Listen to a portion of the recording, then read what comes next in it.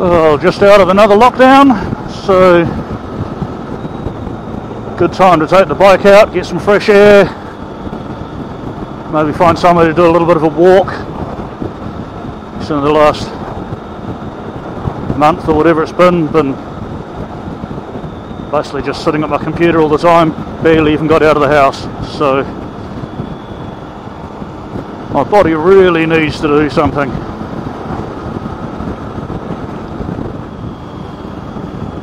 Well, I saw a sign saying there's a park down this way somewhere, so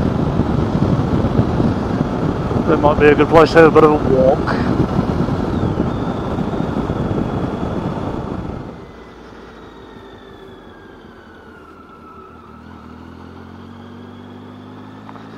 and some gravel.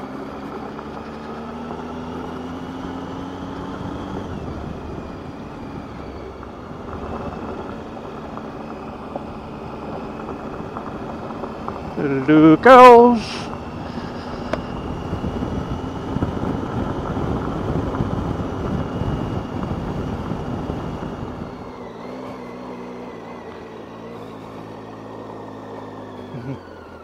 It's fine.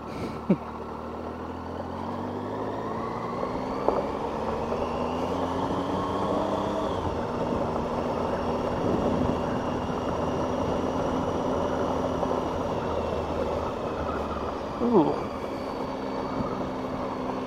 That looks like a neat track. Although there's the car park.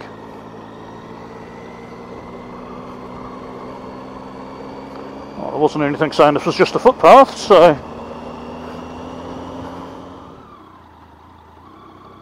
That appears to be the end of the track.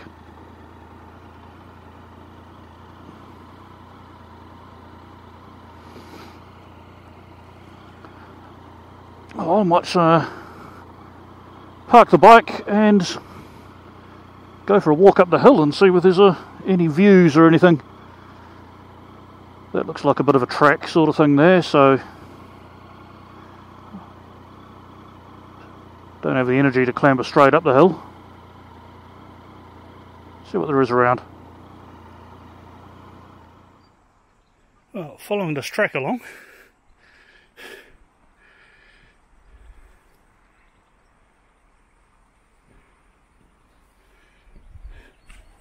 brings you to this.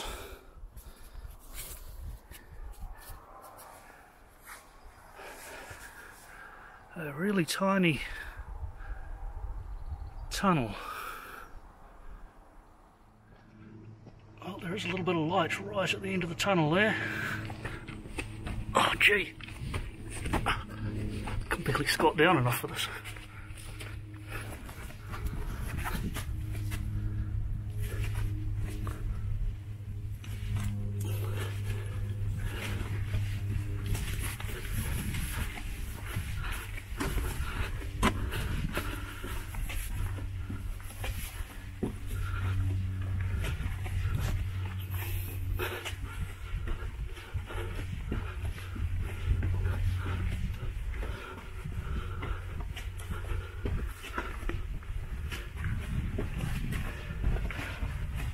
Let's get a little bit higher.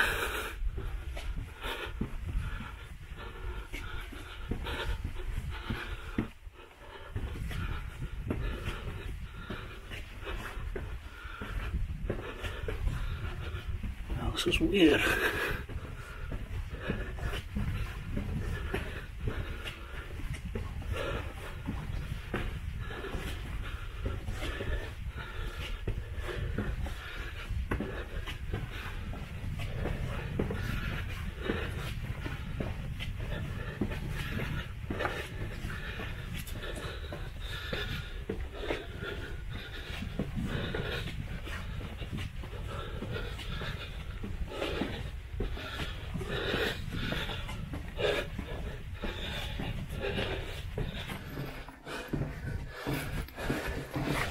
it's crawling on my knees now.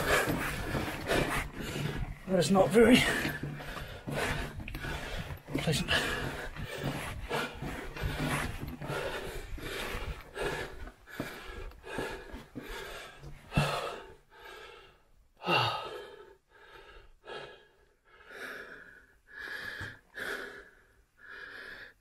yes, there's graffiti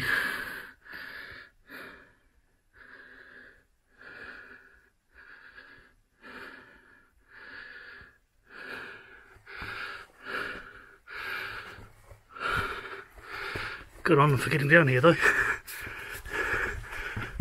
Ow! Jeez, that roof is low.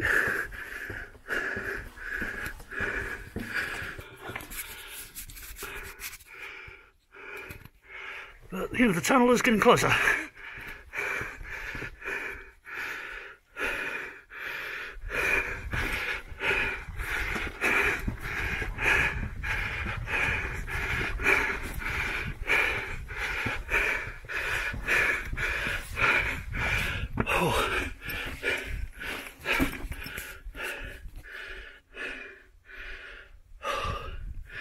I don't like crawling on my knees.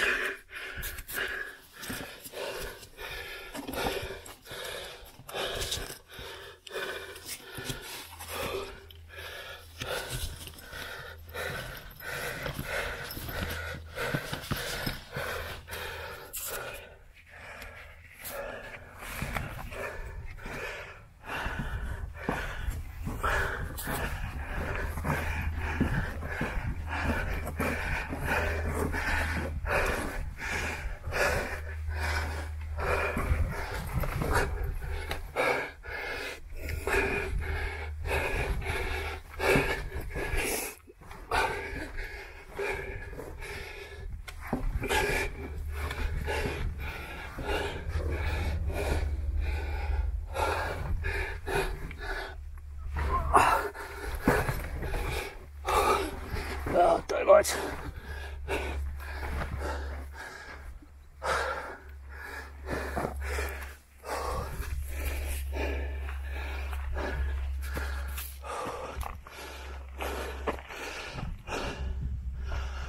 Well, er that's weird.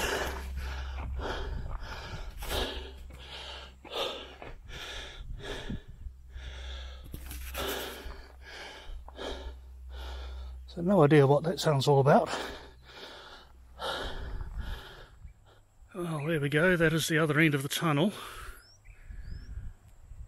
So it went through this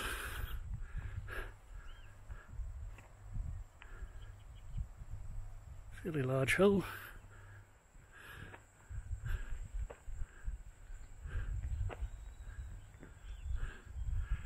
Which I will be walking over. Because I'm not going back through that tunnel smacked my head a few too many times.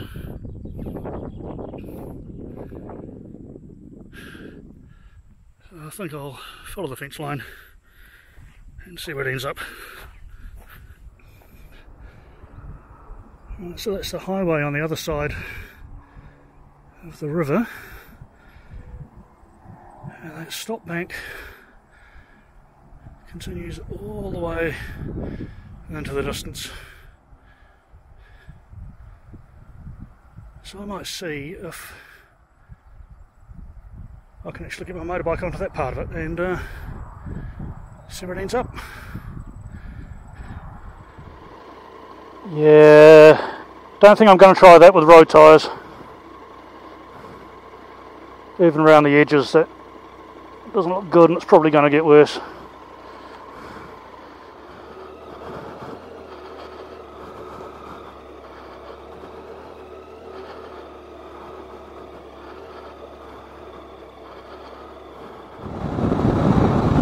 Well, I'm cutting this ride a little bit short.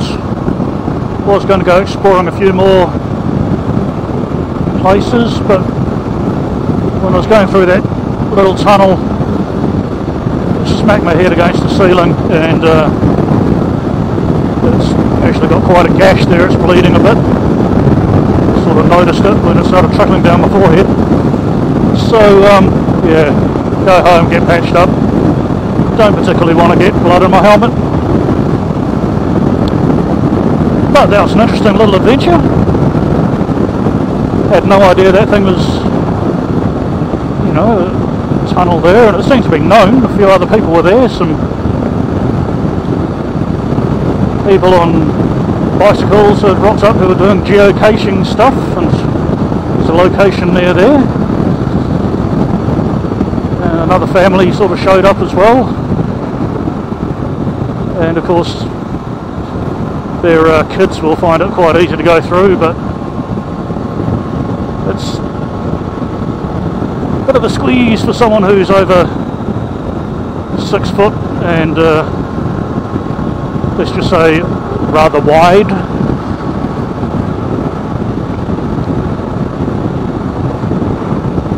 But yeah, as long as there's a bit of flexibility, you can sort of bend over and squeeze your way through it. It's not like it's a you know speleological expedition. Don't need to be a professional caver. It's just walking for uh, I don't know how long that is. It felt like about 50 or 60 metres long. Sort of bent over, occasionally on on your knees if you're a big person. Anyway, I am waffling. Hopefully that's not a sign of concussion. And I'll try and find out what that tunnel was. Got me curious. I'll look it up and it's probably well known in the area. Alright, signing off and going to patch myself up. See you next time.